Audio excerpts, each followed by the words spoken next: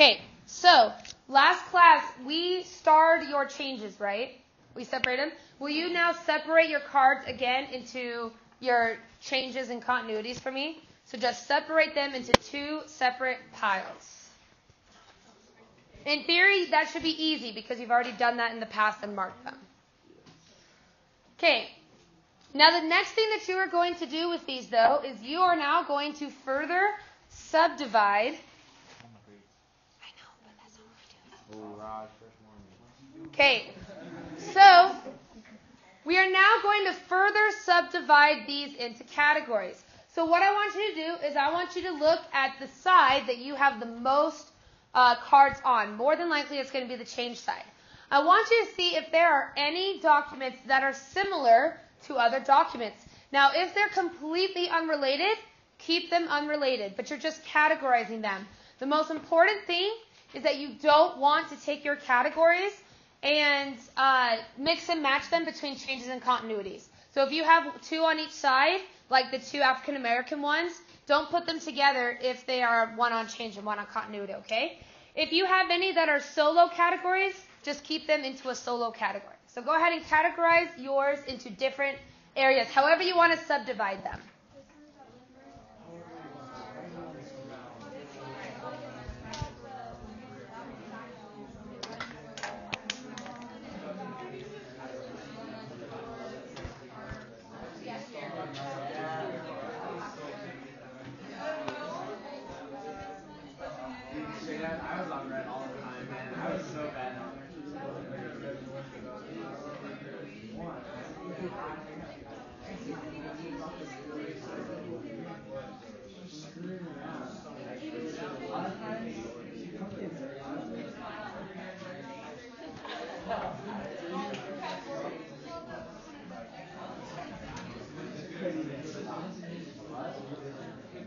By the way, if you want ideas on what kind I'm talking about, what if you took the one on like the flapper in the Harlem Renaissance and you created it into a category about minorities? Okay? That's what I'm referring to.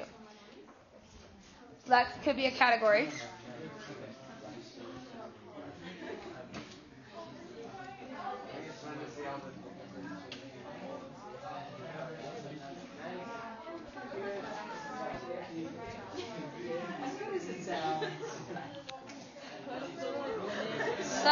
Subcategorizing.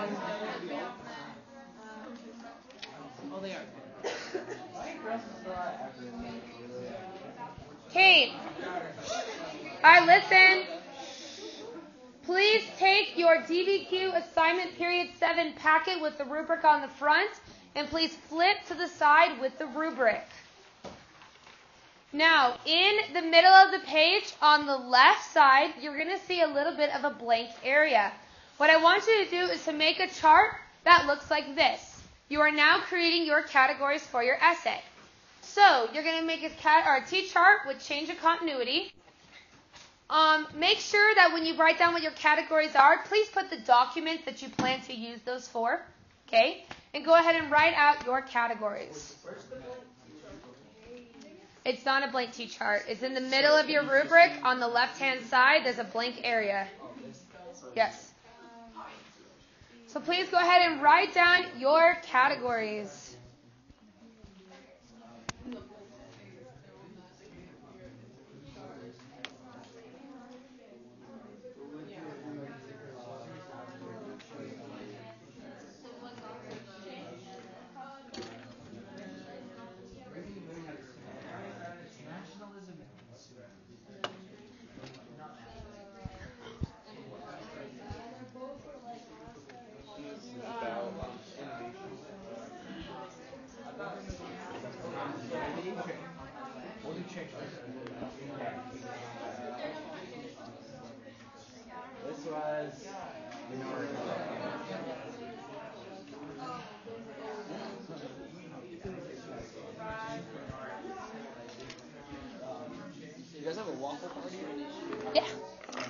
Circuit in here. Yeah. Yeah, it was pretty bad. Um, Mr. Kruger got really mad at me. because I blew the circuit and all of our projectors turned off in our rooms and all of our computers turned off for all the four rooms in here. I definitely made some enemies today. How was I supposed to know plugging four toasters into the same outlet would cause a circuit to overload? Who knew?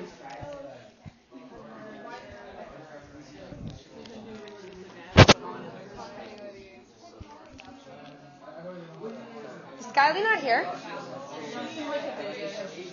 Oh. Okay. All right, at this point, you, okay, listen. At this point, you should have made your categories. Now, here's what you need to do. Okay? You need a highlighter. At least one per group. Yesterday I had 12 highlighters. Now I apparently have four.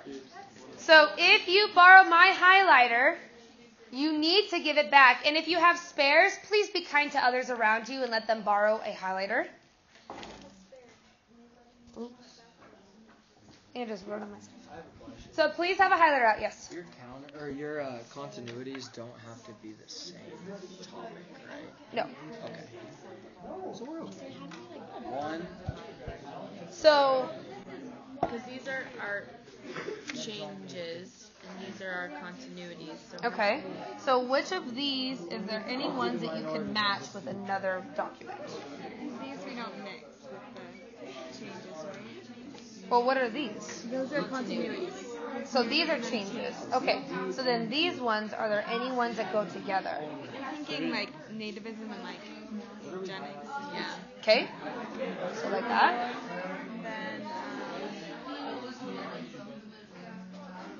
This one I'd is, do this one and this huh? Can we do this one and this one? Because it's like the rise of like jazz music. Sure. and- yeah, yellow. There you go. And look, category, category, Wow. category. Wow. Wow. Right? Yes. I did thought of it. A band-aid? Yes. Let me get in one second. Kate! What? I think you're putting it back. Kate! Well, didn't you want one? We have one. You need one for each person. Okay. All right. Okay, listen. Here is your next step. This was going to take a little bit of time. On the back of each of your note cards, you should have written down a list of vocabulary terms that you could use with that item. What I need you to do is on your brainstorming T chart, your brainstorming T chart, you are going to go through and highlight all of the terms that you wrote on the back of your note cards. So if you had them on the back of your note cards, highlight them on your T chart, and if they didn't show up on your T chart, please add them and then highlight them. So you're just highlighting the ones that you wrote on the back. I have two more highlighters as needed. Yes.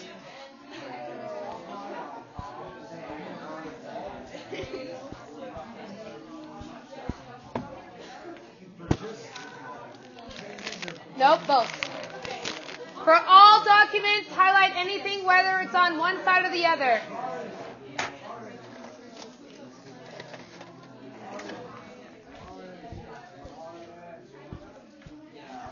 Thank you.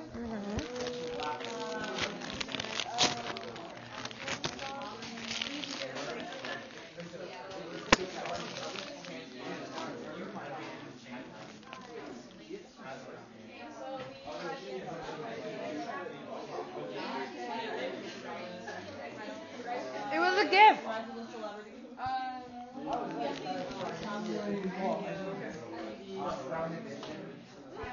Highlight all of them that are on there, please. Is that what we're doing right now? Does anybody have any extra highlighters that others? There we go. So that was easy. I was calling her next to. You were calling her name as I was coming up to you and about to call her name. While you Oh, you were calling her. Oh, and she's in here. Oh, okay. Mhm.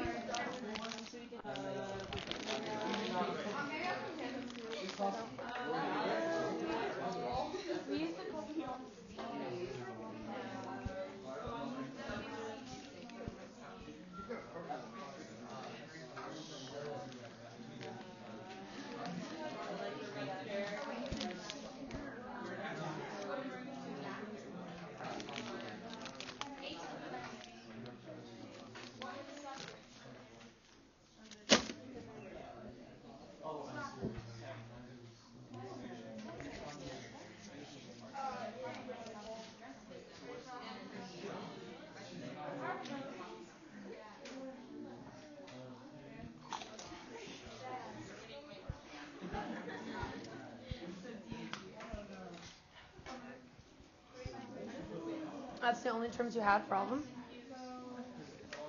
Okay.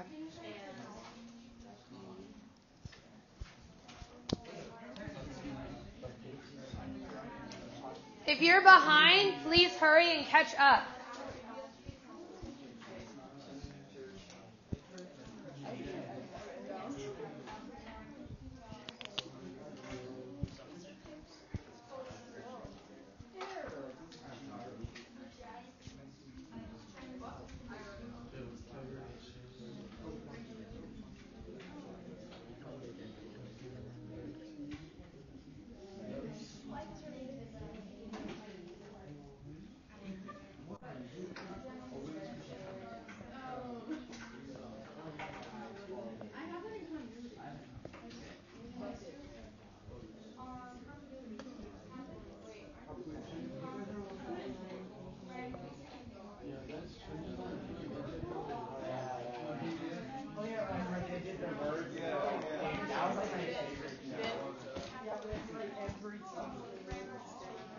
Should be almost done at this point.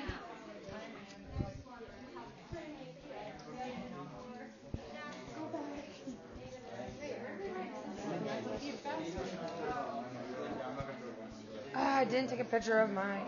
Oh, there.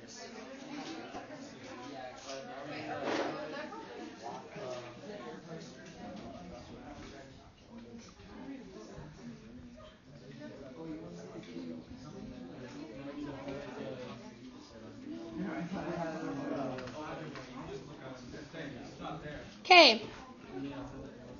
By the way, it is highly suggested that you either have open a Google Docs where you can quickly type things that you're about to put into Pear Deck, or grab out a blank piece of paper that you can be able to write down so that you have a copy of your essay. Okay. So at this point, okay, listen.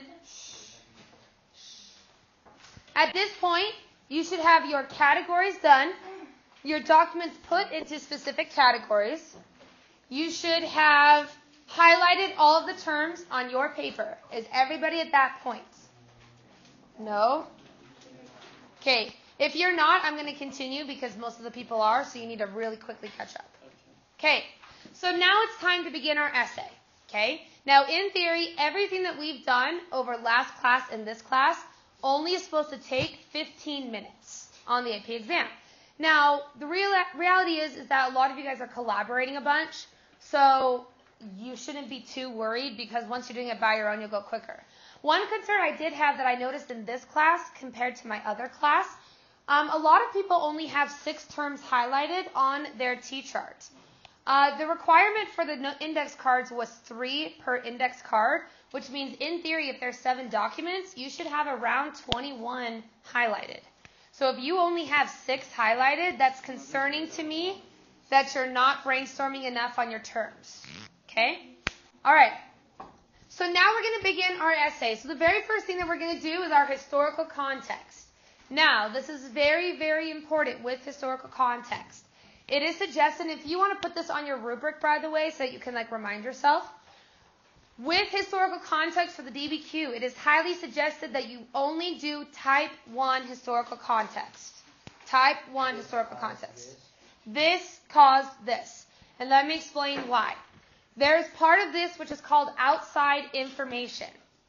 On your T-chart, in the blank space between the HIPP analysis and your T-chart, I would do like an asterisk and write all unhighlighted items equal outside information. So again, underneath your brainstorming chart, I would put an asterisk and say all unhighlighted items equals additional or outside information.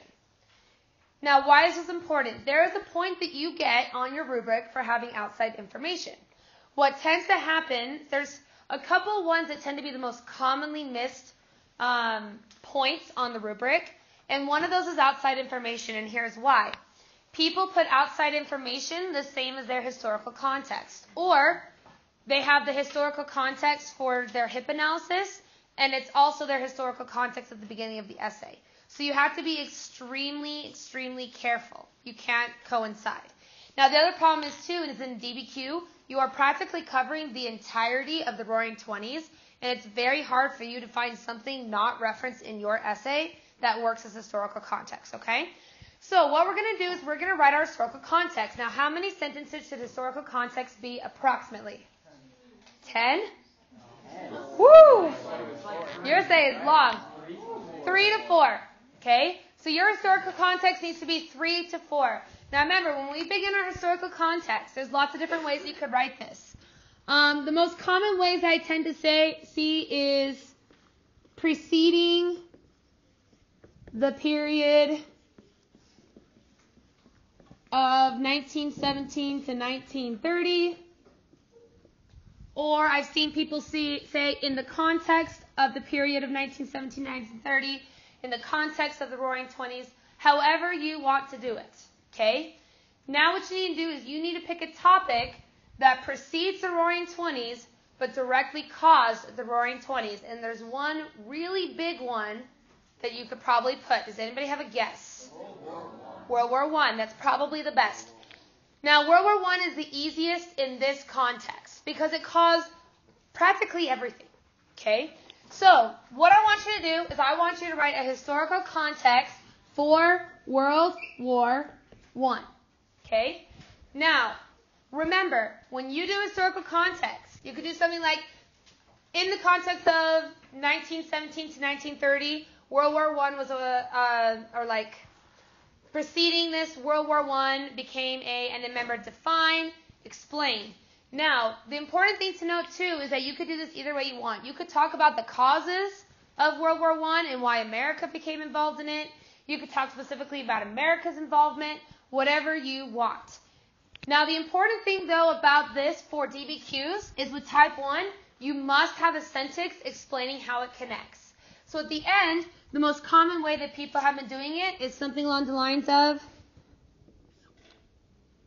like after the signing, if you want to be fancy, after the signing of the Treaty of Versailles, America shifted. You could say something like shifted towards normalcy. So remember Harding's normalcy and isolationism. This directly led and then describe your time period. You could also do this in other ways too. I saw yesterday some people said uh, the impacts of World War I on the home front directly led to many developments that occurred during the Roaring Twenties. Something along those lines. So what I want you to do, yeah define what the Treaty of Versailles like? No, because remember this is just historical context. Now there's a difference though in saying during preceding the period of 1917 1930 was World War One. After the signing of the Treaty of Versailles, do you see how that kind of just skips? So that's different. But remember, some people like to write, as apparently Raj does, 10 sentences for historical context. You don't have to do that. Okay? So I'm going to open up your Pear Deck. Brainstorm with your group how you're going to write your historical context.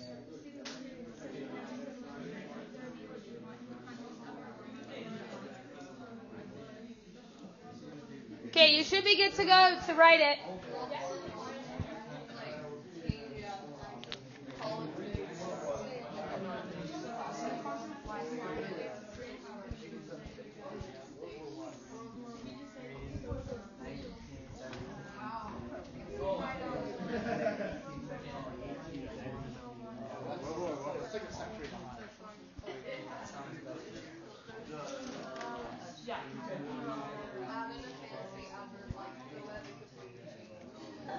That is called word fluff. My favorite is when somebody's like, across the waves of the Atlantic as the battles went on from the dawn to the dusk. And I was like, uh. What's up? So, do you want us to use terms um, That's up to you. But you shouldn't be using any terms in your essay. So anything that you put in your brainstorm chart should not be used in this unless you're connecting it to the Roaring Twenties. Okay? Yeah, I'm just saying, like, for yeah, the historical context, like, so you don't have to. Well, I don't know what you're referring to specifically. So what term are you referring to? Using stuff like the Treaty of Versailles or explaining how it, how the war began. That's fine. With the, um, Yes. as long as it's not terms that you use. As long as it's not going to be terms that you use in your essay about the Roaring Twenties.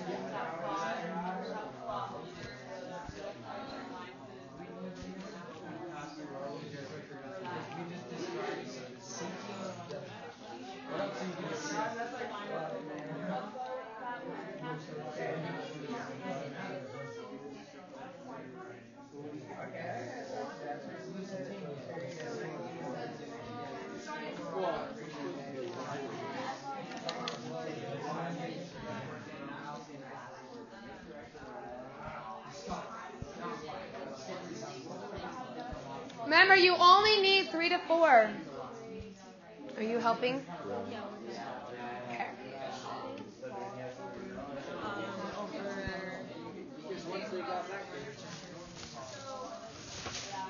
Which is a great transition. America.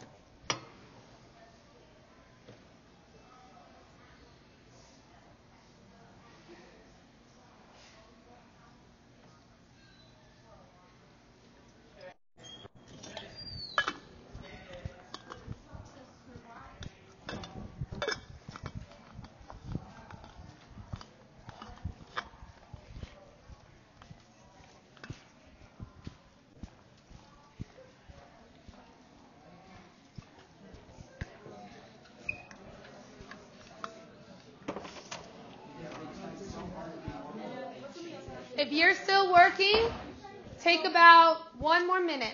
What do they give you for spelling one? Um, They give you a lot of breaks because it's considered a first draft, which means that they cannot take it away if they can accurately tell at least what you're referring to.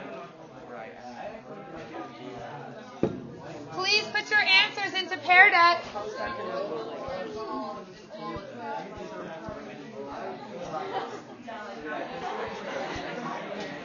You guys are weird.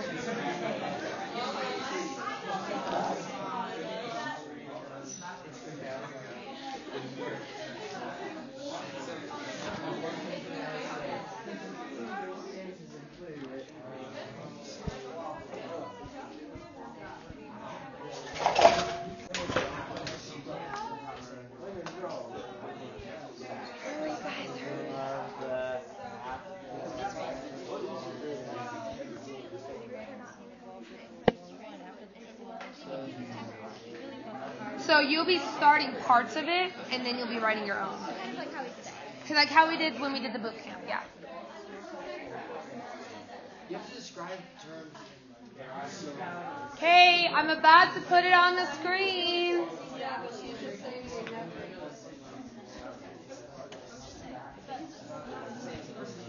All right. Now remember, if I criticize your historical context, it's because I love you and I want you to do better. So don't take offense to it. That's why it's anonymous. Okay. All right, let's see what we got here. Before the period of 1917 30 and World War I occurred, World War I was caused by militarism, alliances, imperialism, and nationalism. The war started in 1914 and in 1918 with American involvement, blah. After the Treaty of Versailles was signed, the United States adopted Harding's normalcy and isolation, directly leading to the Roaring Twenties. Awesome. Good. Okay. Uh, I can already tell this one's good because it's. Uh, let's go to this one. Preceding the period 1970-1930, World War I was fought. It began due to Serbian assassins. I like that. Um, wait. Oh, technically, Archduke Franz Ferdinand II. Oh. That's okay. We'll forgive you. Just say Ferdinand. You should have said that one dude that went to a, a convenience store and died. Just put that. Uh, United States was. Shh. Listen, the United States was drawn into the war after sinking Lusitania as well as the description of the Zimmerman Note. After signing the Treaty of Versailles, America reverted to normalcy, which led to the Roaring Twenties. I would say Roaring Twenties is traditionally capitalized, but that's just me being picky. Good. All right. Let's see this one. This one looks like it might need some help. Preceding the period of 1970 World War I caused great change. Some of the aforementioned changes were women's roles after the war. After the signing of the Treaty of Versailles, America shifted towards normalcy and isolationism. This does not work. Okay? Reasons why it doesn't work is one, you're basically going into your essay right here, so that doesn't count as a sentence. This one's okay, but you're saying World War I caused great change. This, so technically, I guess you could say that honestly, this and this are basically your essay. So you need to tell me more about what is World War One. Tell me about World War One, because if not, this does not count as historical um, context. And then, in the context of the period of 1970-1930, World War One was just concluding. War, World War One in World War One. Okay. Here's what I. Okay. Stop. I already know which group it is too, because I can see you typing. Um, here's what I'll tell you. None of this is historical context. Okay? You must talk about what World War I is because you're actually talking entirely about your essay here. Now, if you had expanded World War I propaganda and talked about like uh, the CPI or something like that, I would have accepted it, but this does not count. Does anybody have any questions about historical context? Okay. If you're one of mine needs some changes, which it looks like only two groups really need changes, make a few changes. Make sure everybody in your group has this written down or it's copied somewhere so that you can have a note of it for later on.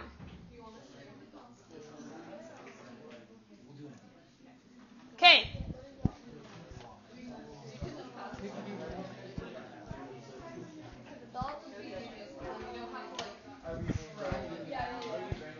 All right. Okay. Yes. Okay. All right, listen. Okay. Based on what you already know so far, what comes next in your essay? Your thesis. Very nice. Now, remember on your thesis, though, you are supposed to have how many categories on each side of your T-chart? Three on each side. Okay. So, listen. Okay, listen, this is important. Most of you will have a T-chart that does not have three on each side yet. Most of you will have maybe three on one side, only a single one on the other.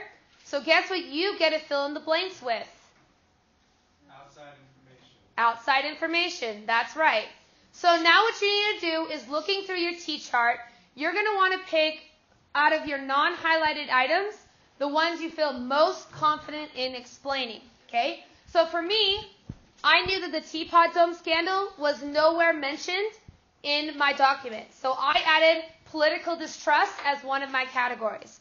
I also saw that there was really nothing specific about eugenics or the idea of a perfect society. So I put perfect society. Okay? That's what I added in. So you need to, with your group, make sure there's three on each side. Now, if you have four on one side, you need to further condense those down because you only need three categories, okay? So go ahead and make three categories on each side.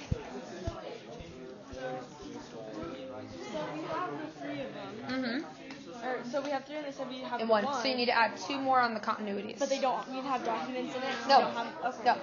So again, these categories are outside information.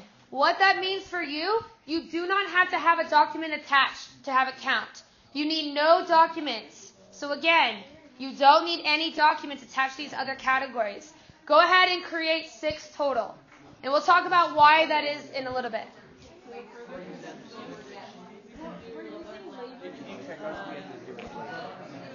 Check your what?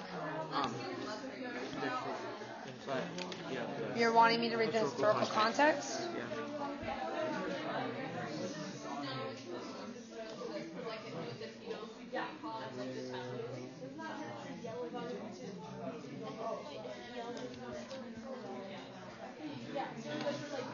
I, uh, you have a typo. During the war, on of the inventions. Oh, and then an event that occurred was World War One, I. I would instead say preceding the period of 19, uh, 17, 1930, World War One caused many changes in American society. And then you have to. Okay, that's fine. Okay. Make sure, give about 30 more seconds to make sure that you have six total categories.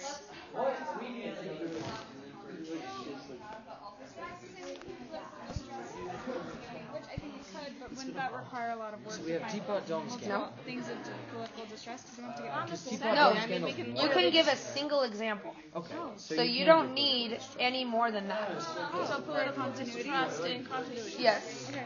And then what if you did for your other one, Harding's normalcy? For continuity. change. It's right here. So I'm assuming you're saying it's continuity, which it is. Yeah. Instead of nativism, because we have three over here. Well, if Well, the, well, I, I didn't see hers. Only had two. why did you do that? Okay.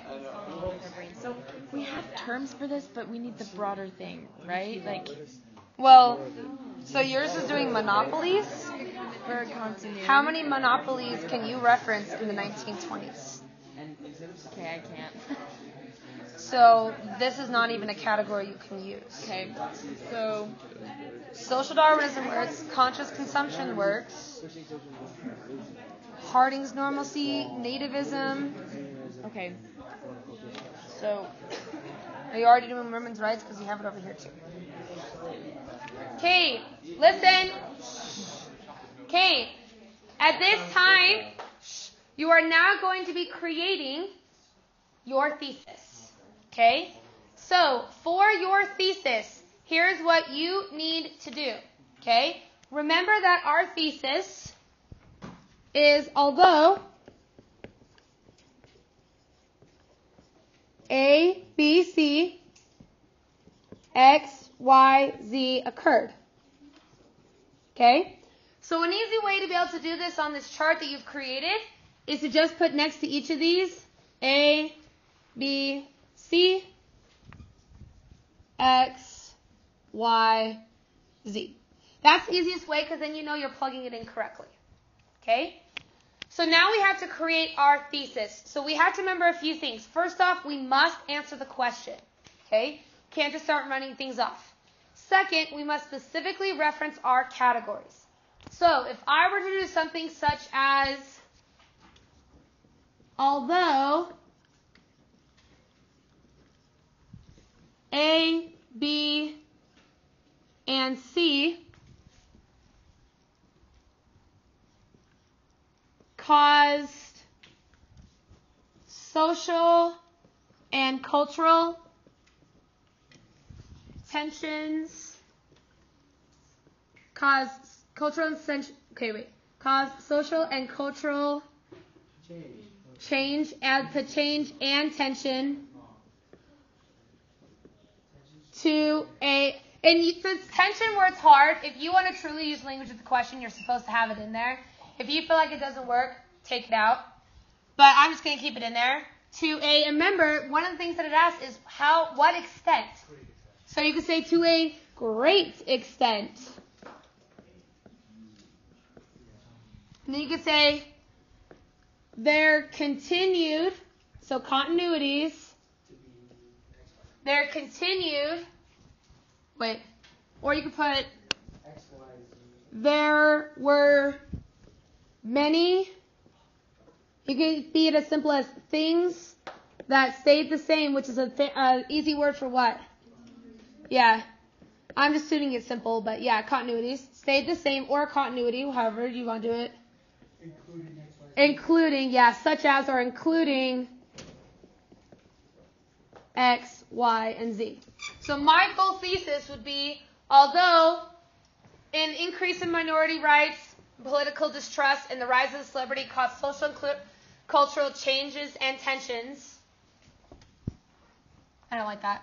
Caused social and cultural changes in the period of 1917 to 1930 to a great extent.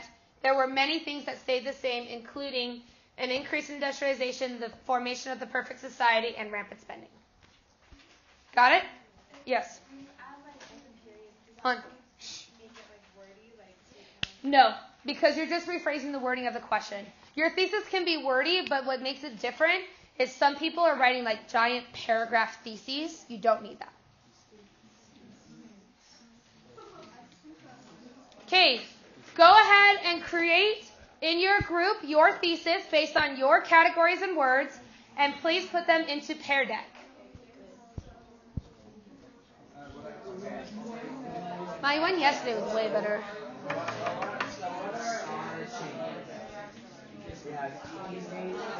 And then what did you celebrities? I just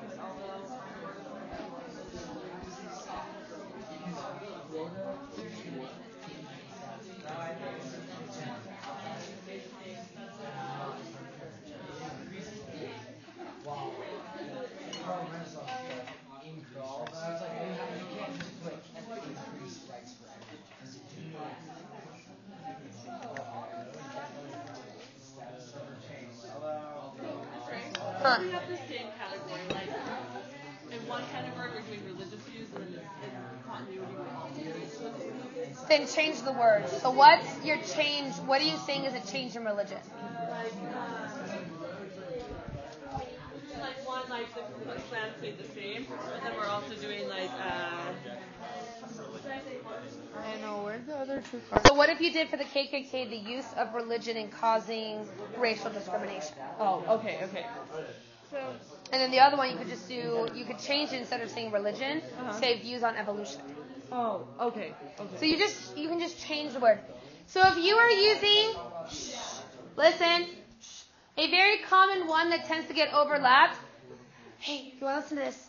A lot of people are using religion in two categories. They're using one and change for evolution Scopes monkey, and they're also doing it stayed the same for continuities for the KKK. Don't use religion in both because then they'll say, wait, they're saying religion is a change and a continuity. Instead, change the wording. So instead of saying changes in religion, say changes in views on evolution. Okay? Or instead of saying religion is a continuity, say the use of religion in discrimination. Does that make sense? Just change the words. Okay, you should be almost done with your thesis and it should be almost in your computer.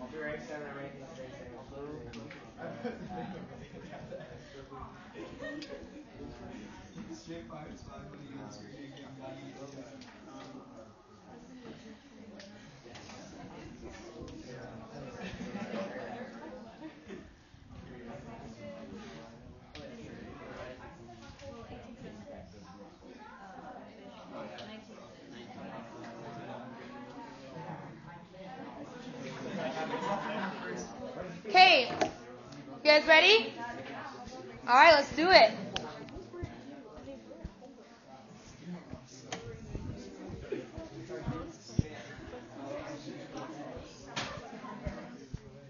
Okay, let's look at your answers. All right. Okay, quiet. I'm locking it because some of you are trying to change it so that you don't look weird. Okay. All right.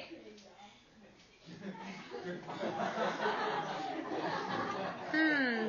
I don't remember putting that into my example. Okay. All right, listen. Although an increase in minority rights, the Scopes Monkey trial, and the rise of celebrities caused social and cultural change in the period of 1970 to 1930 to a great extent, There are many things that remain continuous, such as blah, blah, blah. All this, though, probably should not be included on your essay. Okay, good. Although the changes in new event, why are these capitalized? Okay, uh, although the changes of shh, new advancements might, hey guys, we're not gonna be able to get through this if you're not quiet. Although the changes of new advancements, migration, and views of evolution caused social and cultural tensions to the fullest extent in the period 1917-1930, religion, conscious consumption, and Harding's normalcy remain the same. The only thing I would possibly do is I would maybe be more specific on this religion because they're going to be like, yeah, obviously religion stayed the same during this time period because we've always had religion in America. Just be careful with that. Um, most of what I'm seeing is good. So I think you guys are good to go.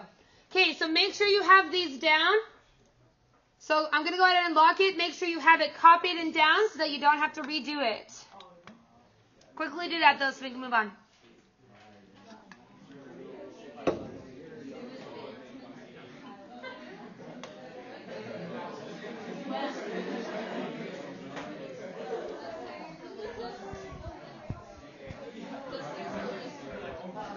Yeah. What?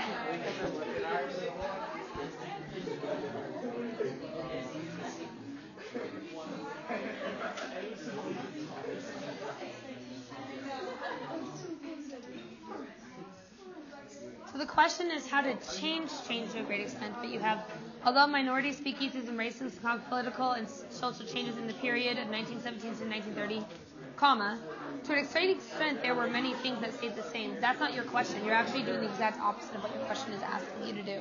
So this great extent must change and be put into the changes. Um, I don't think that is a, oops, I don't think this is a good term. Okay. I would change it to prohibition. Okay. All right. Yes. Okay. Not right now. All right. Okay. If you guys, by the way, don't get it in in time, or you wanted me to read it and I didn't read it on the board, I don't have time right now because I have to continue the lesson. If I read everybody's, it's going to take too long. So you can always stay after a few minutes after class. But just be aware, I'm okay with checking a couple people's, but we have to move on. Sound good? Okay. Now, if you will do me a favor and look on your rubric. Good news. You have just earned two of your seven possible points. Woo! Yeah, getting there. So, the good news is, if you're on the AP exam and your mind is like blown, and you can't remember a darn thing, you can at least get now a minimum of two points. That means you get a one. Not necessarily. Two points you can actually get a two on if you do go on multiple choice. So you now have two points. So now we're going to get into the actual meat of the essay. So here's what I need you to do. On your categories, I want you to pick one of your categories that has a document attached to it that you feel passionately that you could easily explain. Please only pick a category that you're going to be picking one document out of it, but please only pick one category that you feel extremely passionate about right now. Yes. You are skipping ahead. We're teaching this right now. Okay. All right. Has everybody, please grab your note card for that document, by the way. You will need it.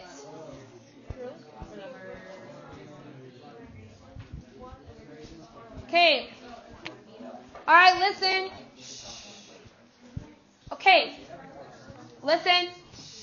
So we are now getting into our body paragraphs. Guys. Okay. Now this is going to take a little bit of time to be able to teach you, so I'm going to do this the absolute best of my ability. Okay. Now, here is what you are going to do. Okay. You're going to pick one of these categories. For me, I'm going to do an increase in industrialization because that's the one I want to be able to do. If you're doing the same one as me, great. Please don't copy me. Okay? Be inspired, but don't copy it down. Okay? So the first thing you need to do, remember, when you begin your paragraphs is you need to write your topic sentence. So with your group, please write your topic sentence introducing it. So for mine, I'm doing continuities first. So I'm going to do, during the period of 1970 to 1930, there were uh, several continuities such as X, Y, and Z. Please go ahead and write your topic sentence.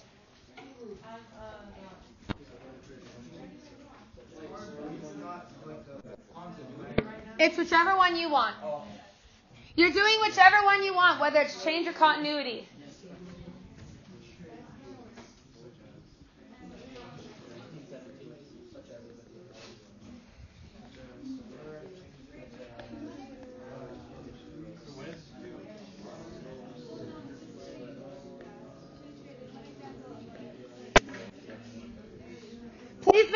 Pick the category that has a document. That's very important.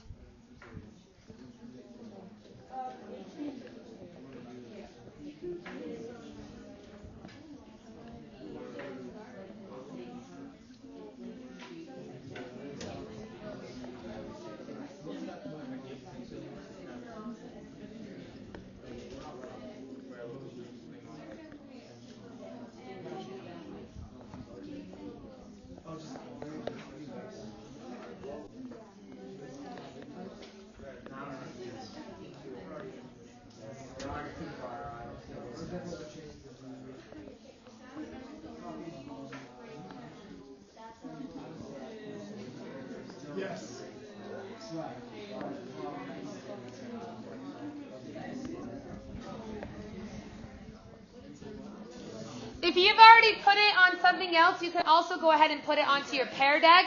You'll add to it later.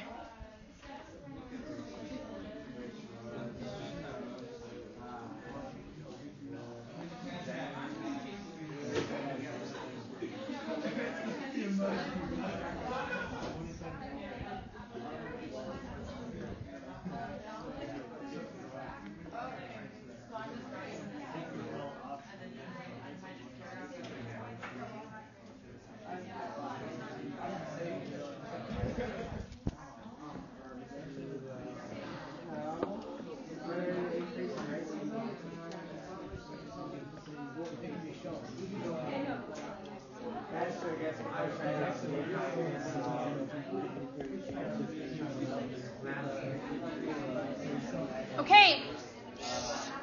All listen. All right, so here is your next step. Just like an LEQ, you must now take this term, define it, and explain why it's important. Now remember, this is a CCOT essay, so you must explain how it is either a change or a continuity. Now it's important to be able to use what is in your document. So I'm doing Doc G on Henry Ford's Model T. So this is what I wrote for mine. During the period of 1917 to 1930, there were several continuities such as X, Y, and Z. One example, which is a great way to lead in, of a continuity were the continuous attempts to industrialize and improve factories and consumer goods. Henry Ford, so now we have my document. Henry Ford's Model T was the first car to be economically affordable for Americans.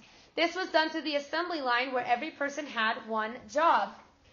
Now I'm getting into the why. Why is it a continuity? This is similar to the creation of the radio. Then I would do a kind of a little bit of how this is an example of an industrialization showing how it's a continuity. Then you end it by putting in parentheses doc blank. So mine is doc G. Okay? So again, notice how in this I introduced my paragraph. I defined what is a Model T, why it's important, and how it continues to be a continuity during this time period. Okay? Now, if I were to do this as a change, so if I were to do this as, I don't know, I don't know, that's kind of hard, but if I were to do this as a change, I would say this was different than when America continued to be a rural environment, or how are you ever going to do it? That would be a really hard essay, but do you see what I'm meaning? Yeah. So what I want you to do, to do your best, create your entire paragraph, and remember at the back or the end of it to do doc whatever you're doing. Okay? Go ahead and get started. Use your note cards to kind of guide you and remind you what these documents are about. Okay. So, what example Do you use like the term like one example is social Darwinism, or do you use like one example is like the continuous? Use of social Darwinism. Yeah. You're using that up here, so this is fine. Now what you have to do is you have to say social Darwinism is and define it, and then you now must explain how it was continued to be used in the 1920s. Uh, years of the continuity? Yes. Yes. So how it continued to be used in the 1920s. Because what you might want to do is introduce it a little bit and say something like, prior to the 1920s, social Darwinism was used to justify imperialism. Now, this is how it's being used today as a continuity.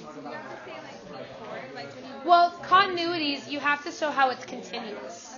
So if you give one example and say another example of continu- or another example during this time period was this. So could we use a quote from this one, No, no, no, no, no, no, no, no. Very, very bad to use quotes. Okay. They do not like quotes. you well, you're going to reference it. So what are you specifically referring to? Like he says that like she wants the artist to flatter her to make the white world believe that all Negroes are as clear way as her soul. As So then what you would say So what you would say here because that's how you're referencing this and making sure it's known here. You could say like during the Harlem Renaissance African Americans began to feel that there was a racial superiority and you're referencing the document in that way. I think I think it's So you need where's your intro sentence to your paragraph? the status of minorities. Oh no, I see. Okay. Sorry, that was okay.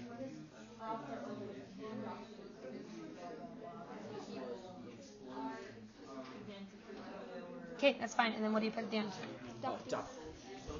Yes. Um, so in World in Euro, we would have to like do quotes, take quotes out of this. You're not supposed to do quotes. If Watts told you to do that, readers hate when you quote. Oh.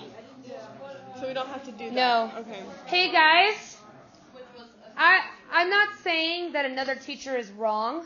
I'm just saying that if you were taught in another AP course to use direct quotes out of the documents, you're not supposed to do that. So you do not have to. You're not supposed to. Readers don't like that. Yeah. Because what happened is is that why they say that too. So in New York, you have to take what's called a Regents exam. It's like the SAGE test, but required for everyone. In their essays in that state, you must use direct quotes in your essay. And they said it's directly affected New York from getting lower scores on the AP exam because they're relying on quotes rather than actually talking about what's in the document. Besides, if it's a graph, how are you going to quote it? Yeah. So you don't have to. So instead, so let me give you an example. So for instance, their change over here is the Harlem Renaissance. And so how they reference the document into what they were saying is they said many prominent Harlem Renaissance artists such as Langston Hughes, well, who wrote the document? Langston Hughes. Okay, go ahead, keep going. So, um, say what's an explosion for African Americans. Say explosion. So you don't say cultural explosion works fine though, because that's actually part of the terminology. Oh, know,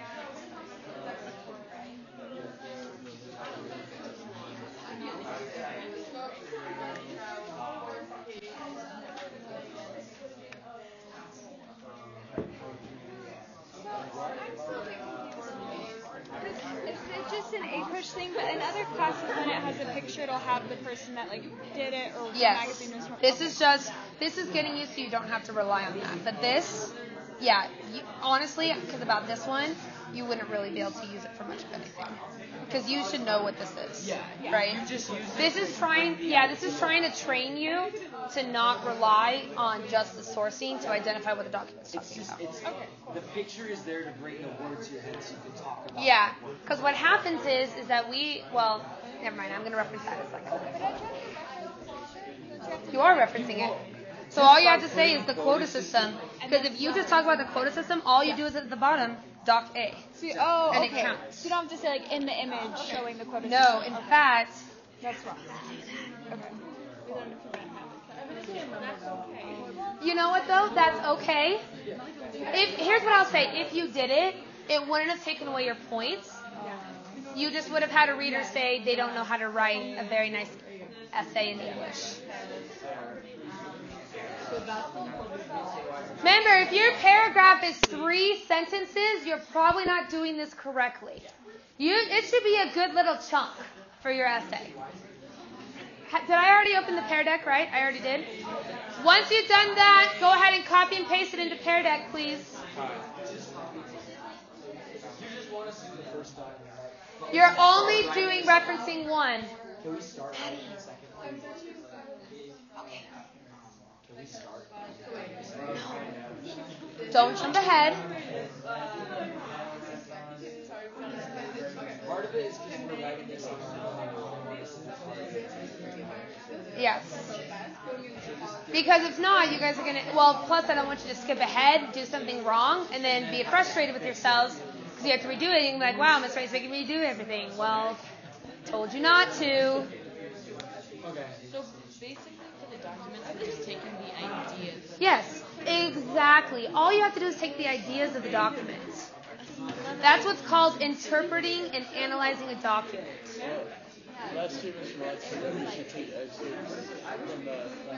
You, if you want to do that, go ahead.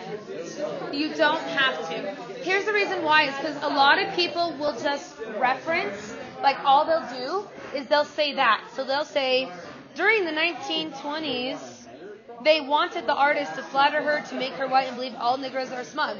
This was an example of how people treated African Americans. Do you see how I never really said what the document was about? So what happens is, while you can, it's not very nice, but while you can, people begin to use it as too much of a crutch and rely on the quotes. Whereas they want you to analyze the documents. But you don't have to. What you just, if you're doing what you just told me, then you're fine. Okay. Take about two more minutes. You guys doing okay over here? Will you read this and tell us if we're done? And also, would, wouldn't jazz music, like jazz, be categorized? Like the like the genre. It, it, here's what I'll tell you. It doesn't. It doesn't matter.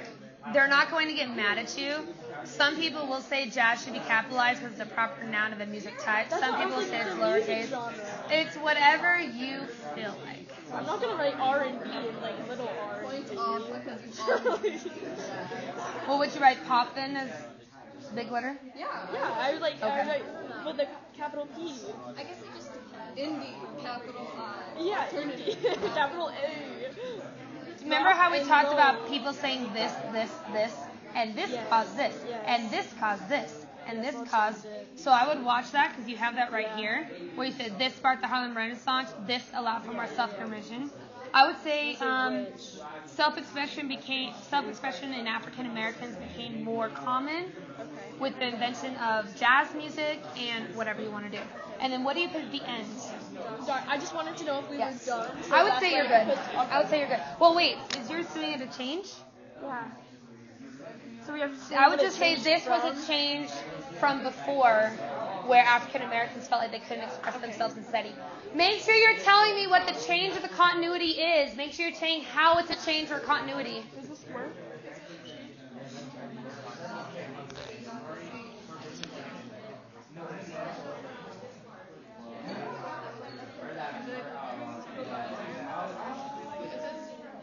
Um, this is in the wrong spot. Oh. It has to be. This needs to be at the end. And you're saying that it was a change, but you need, never really said what the change was. You just said it was a court case that debated religion versus science. You say this was a change from traditional religious views taught in schools. Make sure you tell me what the change is. About the minorities, and like we um, talked about like the women and then um, African Americans. I just put like how was the change after they talked about the definition, or like after the definition of what race is. Like since women and African Americans are two separate like things, but they're in one category, are we supposed to talk about the change? I would like, talk about the change with women first, Okay. and then say, like, this Another one is was African similar to the changes of African Americans. Okay. Yes. I don't think that was right. You do a lot of capitals.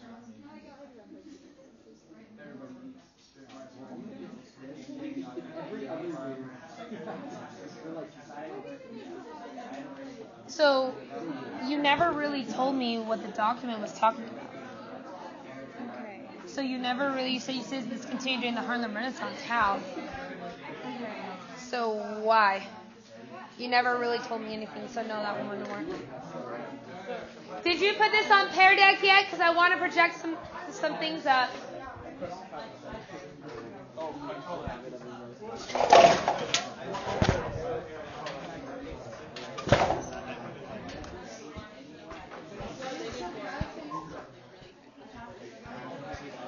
Okay. All right, let's see how you guys did. Hurry. Hurry, hurry, hurry, hurry, hurry, hurry, hurry. You guys embarrass me.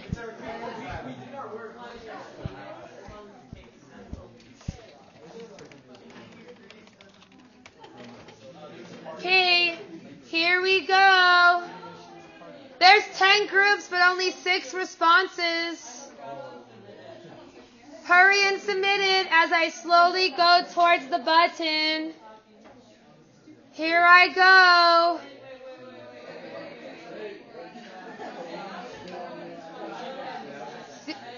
What? Oh, here we go. Okay.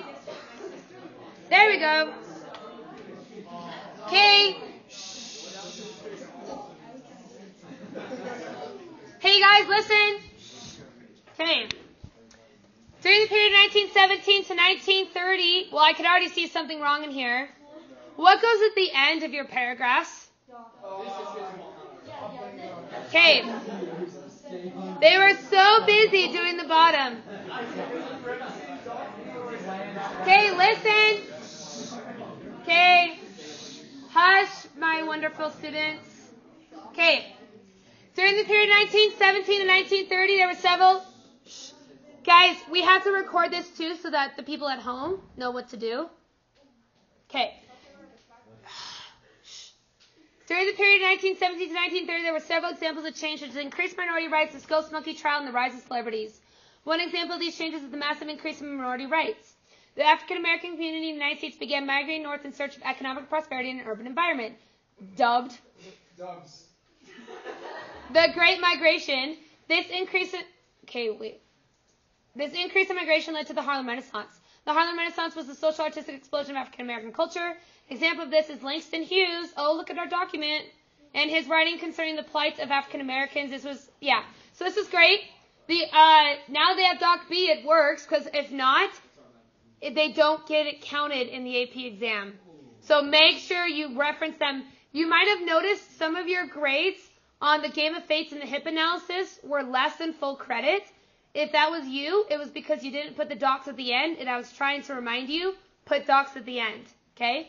The only thing I would probably change is this transition is a little weird. I probably would have put uh, began migrating north in search economic prosperity uh, in an urban environment during the Great Migration, and then change it because it sounds a little wonky.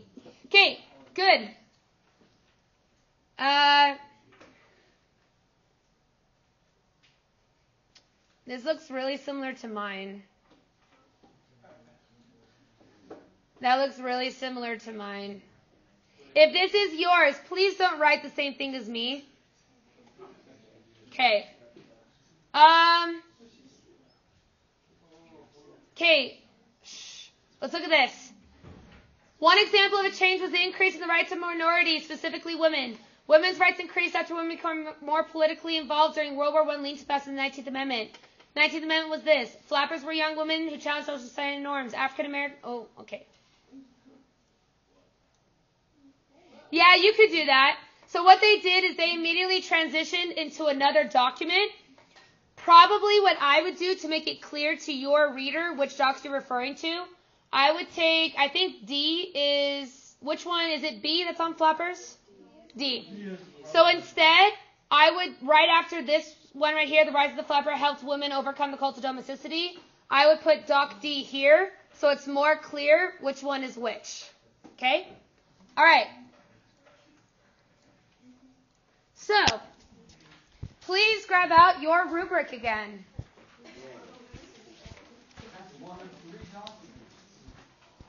Okay.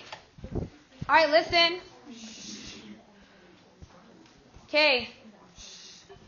So I have some great news for you. But, close. By doing the two things that you just barely did, defining and explaining those, as long as you do them over more documents, you have just earned two more points on the DBQ. Woo! No, actually, a four is considered a high score on uh, DBQ. So a four out of seven is considered high. Um, Where does this say that? It says four is a three on APs. Okay, that's because that's well, three is a pass. Yeah. Okay, so we're just trying to pass it. Okay. Okay, listen. Some of you getting like really hyper. Yes. So this is about like quoting the DBQs in your thing. Like, I know many people have like gotten fours and fives who have done that, but like, should you just not do it? It's it's what you're comfortable with because I now know that Mr. Watts teaches you to quote. Um, the reason why I say be careful is what happens is that people use the quotes as a crutch. So, for example, if you go to the document on African American rights, what some people do is there were many expansions in, or they did a continuity, but so they did. Uh, during the 1920s, there was a continuous amount of racism in America. For example, the artist, quote, wanted to flatter her, make her the white world believe that all Negroes are smug and a near as white a soul as she wants to be. Quote, this shows how there was a continued racism in America. Did I ever actually analyze the document? No. No, I'm just saying it's racism and I'm putting a quote. Now, if you want to take that and expand it into an analysis, then great. What just happens with people quoting is people don't ever actually analyze the documents. So do what you feel comfortable. If you learned in Watt's class or in Pickett's class to quote, then cool. Just be very cautious that you don't use the quotes as a crutch. Make sense? Okay, so you have now just earned four out of the seven points. Now on your rubric, okay, you are going to notice two things. First off, under evidence, where it says three documents defined, if all I put is one example of a continuity was Henry Ford's Model T was the first car to be economical, affordable for Americans, just this sentence alone with this is that first point. It's super, super basic. Literally, if you just identify and define the term that it's in there, you're good. Now, this is different though in saying there was a continuity in Henry Ford's Model T. That's different. But if you just identify the term and define it in each document, you only need to have three documents done and you get a point. In my class, if you want to write it down, it's going to be four. You must have four documents. If you want to put that down on your rubric for the first one, you must have four documents. Okay? To get that point. That's to allow you, because some people are like, oh, I only need three. I'm only going to do three. Well, what if you mess up one of the three? You missed it. You missed it all. Mm-hmm. Okay? The next one is where it says six documents explain why they answer the question. In my class, you will do that for all the documents, which is seven. Okay? Or eight sometimes. So you need seven or all the documents to find explain. So basically what I'm saying is, in my class, you reference every single one. And the reason why is, again, uh, there was somebody that I read over the summer where they had six documents. Five of them were incredible, and one of them they misanalyzed the document and they lost all the point. Okay, so this allows you one little safety net to make sure that you don't do that. Okay, so now you have uh, four of the seven points. Now, if you will look at the very last one on this, which is outside evidence, all you have to do is reference in my class 2 on the AP exam one single piece of outside evidence not mentioned. So on your uh, chart, all the non-highlighted, if you reference one of them, you now get the fifth point. Okay? All you have to do is define and explain it. So if you remember my example that I had on the board, which this is new, by the way, this year, in case you wanted to know. Whiteboard? No. the this point. Uh, this outside evidence point is different than how it used to be. So if I took this, this is similar to the creation of the radio, and then I expand on the radio. Was the radio ever referenced in your documents? No. So I just got the point. Was the Great Migration ever specifically mentioned? No. So what about all those people who just referenced the Great Migration? What did you just get? Your outside information point. Do you see how nice that is? Now, this is why I highly suggest making a T-chart every single time that you write an essay. And the reason why is because this allows you to identify what is outside information compared to what you're writing about. This is, by the way, in my opinion, the hardest point to get is because people don't outline before. This is why I say an LEQ is so important to learn first. Because if you write just like an LEQ and then add the documents in, you'll get outside information. But this is the number one hardest point to get. Okay? So now how many points do we have out of our seven? Five. Oh, look, we're almost there to a five. Okay.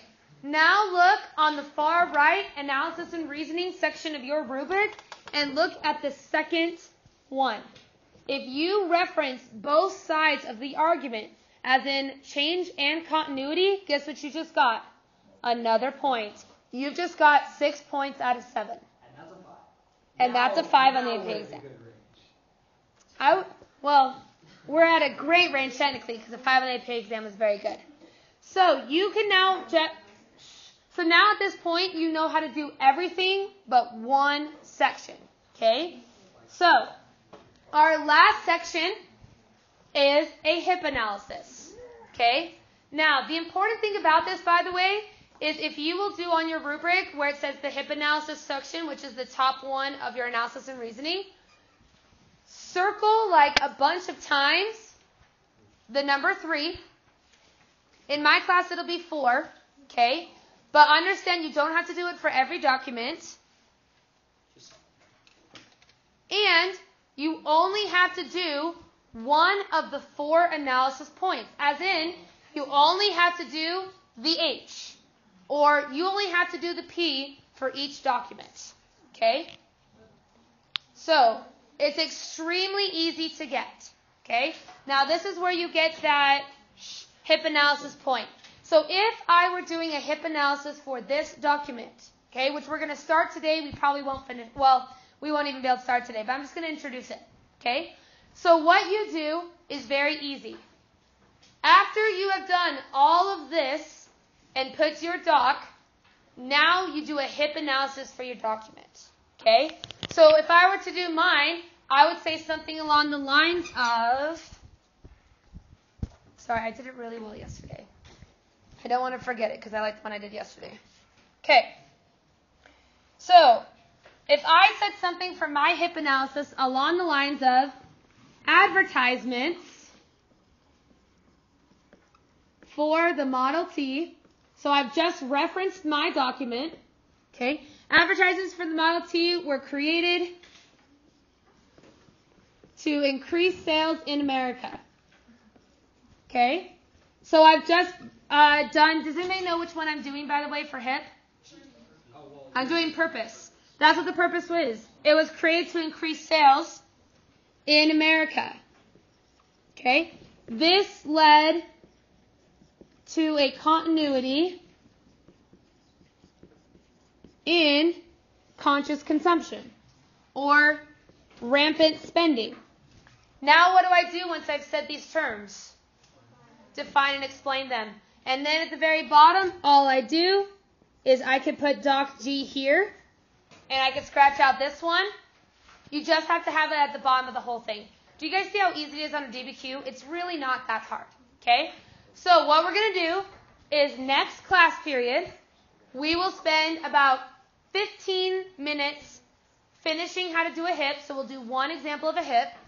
I'll then show you how to outline it. You will have two weeks to do it on your own time.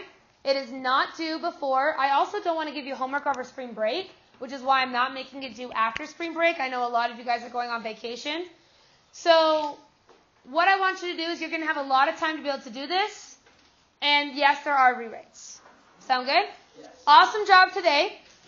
Let's, and Tim says good job to everyone. So obviously that's a great honor. So put your desk back. Please put your Chromebook, uh, Chromebooks back into the carts. Uh, flashcards. Listen. Flashcards, please put on this empty desk in front of Amelia. So please put it on this empty desk over here. Put your Chromebooks away. I saw a hand.